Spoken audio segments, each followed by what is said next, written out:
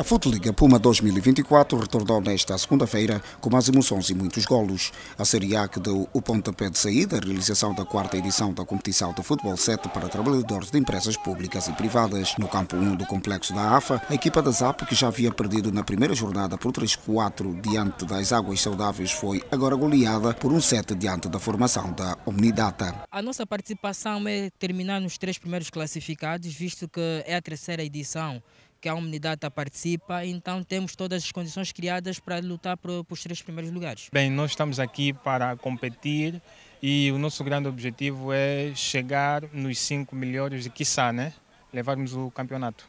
A Omnidata, que tinha empatado a dois golos na ronda inaugural, somou o primeiro triunfo para a busca dos seus objetivos. TV Belas. Juntos criamos a nossa história.